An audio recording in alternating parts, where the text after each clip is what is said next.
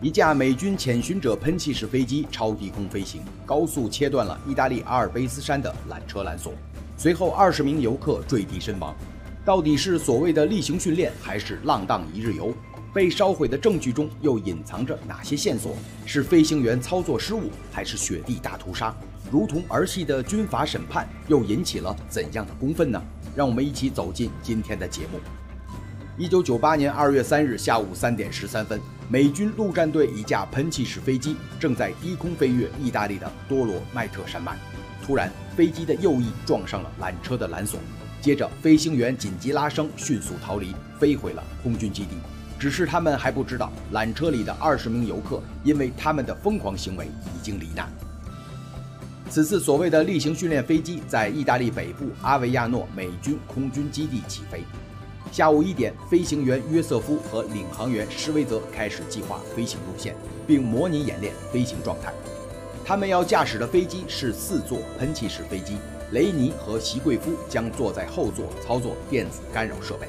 他们隶属的美国海陆飞行中队由北约组织部署在波斯尼亚附近，而今天的主要飞行训练动作是低空起飞。下午两点三十五分，潜巡者喷气式飞机离地起飞。此时天高云淡，正是飞行和滑雪的完美时节。通过地图，我们可以看出阿维亚诺以西九十公里的费耶美谷，其中便坐落着山间小镇卡瓦莱塞。这里每逢冬季都会聚集大量的滑雪客前来。下午两点四十五分，雪坡上人潮满满，而此时的潜巡者接到指令，他的飞行高度距离地面不得低于三百零五米。巧合的是，正当其下降时，雷达高度计竟然卡住了。自然，此时如果飞机高度低于标准时，飞行员将不会听到警告。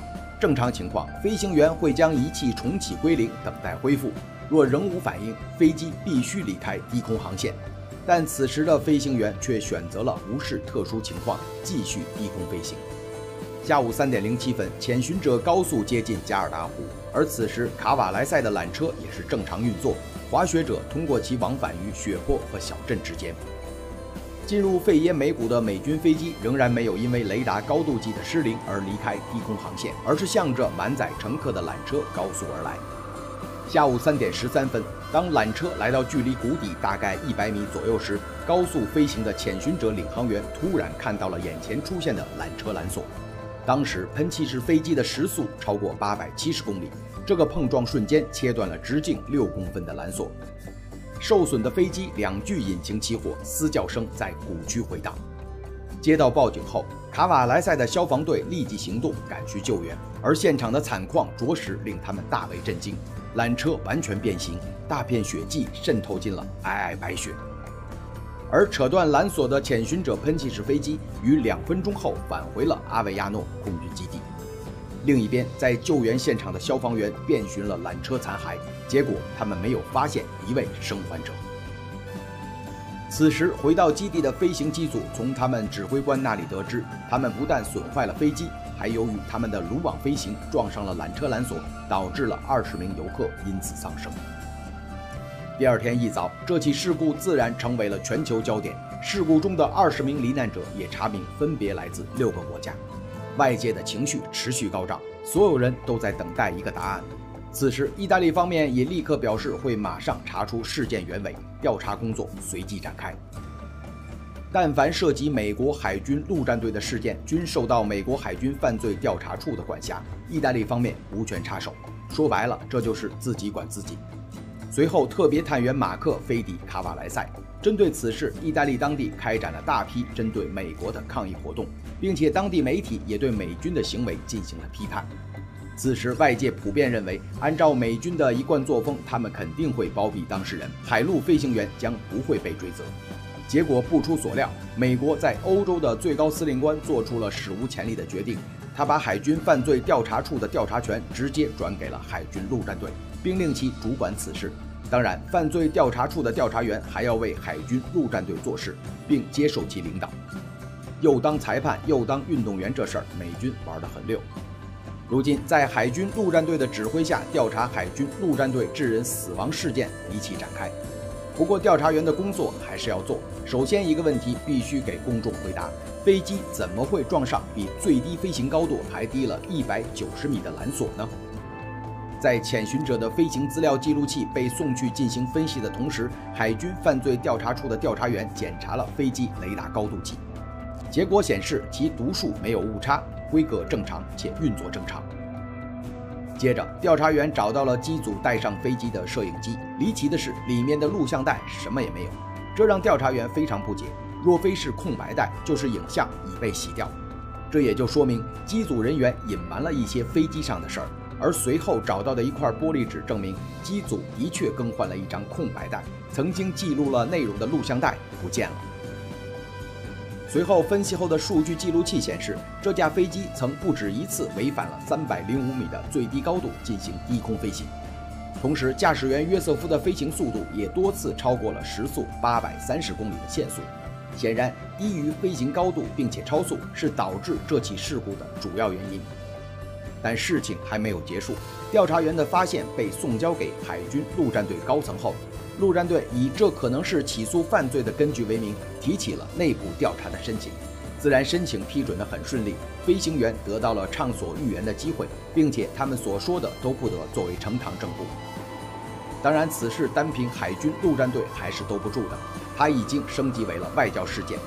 随后，身居白宫的克林顿发声，表示一定会尽全力查明真相，消除意大利人对他们寻死的疑虑。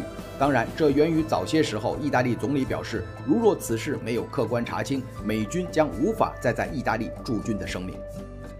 如果失去在意大利的空军基地，对于美国在欧洲的战略要求是致命打击。所以，这份调查报告必须要公之于众。海军陆战队上校戴佛自然不想将犯罪处的调查报告直接上呈，于是他开始进一步调查。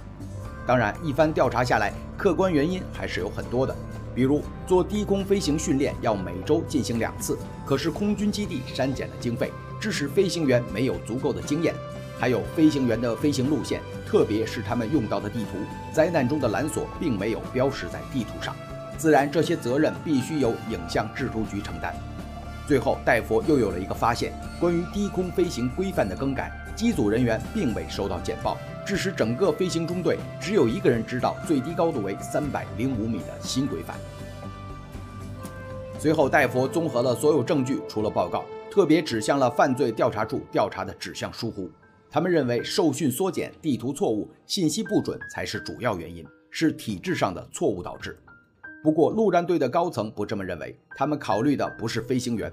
如果责任在陆战队，美国则很可能失去意大利的所有空军基地，所以责任必须被分摊掉才可以。事实在这里已经不那么重要了。空难发生一个月后，执掌调查的狄龙少将发表了调查报告，他保留了犯罪调查处的意见，立场站在了海军陆战队方面，决定将机组人员送上法庭。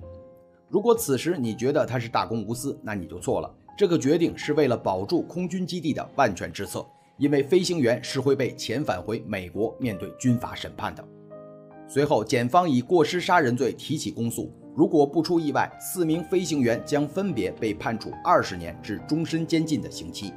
当然，驾驶员与领航员责任最大，未能确保定罪，检方和后座的两名机员交换了豁免条件。席贵夫和雷尼做了新的供述。他们指出，飞行员和领航员在紧急降落后行为怪异，他们并没有赶快撤离，而是拿掉了摄影机里的录像带，换了一张空白带放了进去。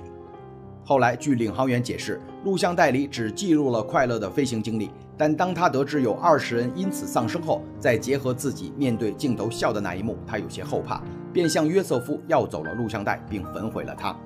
当然，这是一面之词。检方相信，他们明知是证据，却还要去销毁，这充分证明了飞行员的犯意。他们若真的按照飞行规定去飞行，就不会烧掉那卷录像带。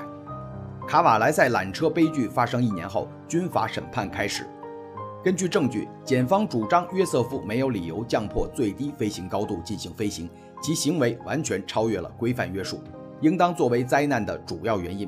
此时，为了帮助约瑟夫逃脱牢狱之灾，辩方找来了退休的海军陆战队空间定向能力专家帕特森，来解释飞行员降低高度飞行的原因。经过特殊地形的模拟操作，帕特森认为当时的飞行员将地平线的参考点搞错了，而雷达高度计因为卡住也没有预警。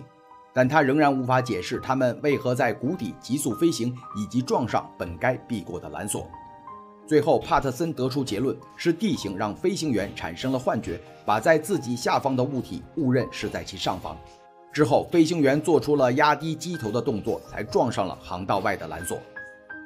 不过，在飞行员的训练中，判断与地面的距离不应该是基础课程吗？